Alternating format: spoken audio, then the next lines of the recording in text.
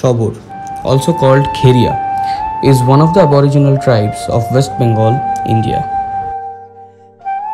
They live mainly in selected pockets of Purulia and Medinipur districts and constitute 1% of the total ST population of West Bengal.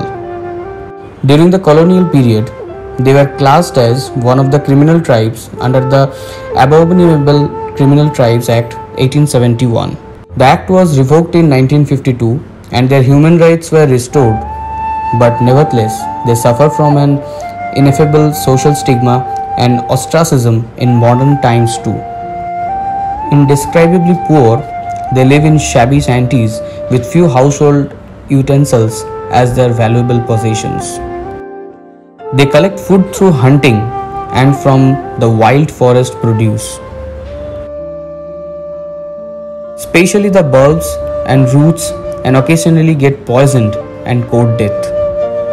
They mainly sustain with assistances coming from the government and philanthropic organizations and people. Most of them are docile in nature and are being led to get involved in petty thefts by the so called civilized people and often put to jail.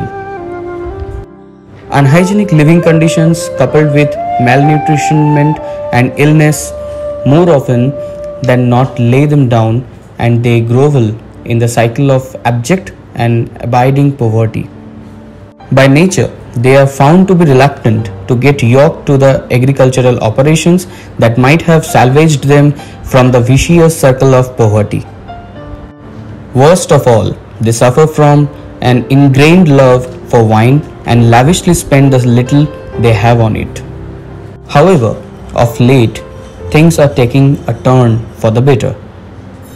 The Sabar women folk appear to have realized the need to take a drive to eke out a better living condition.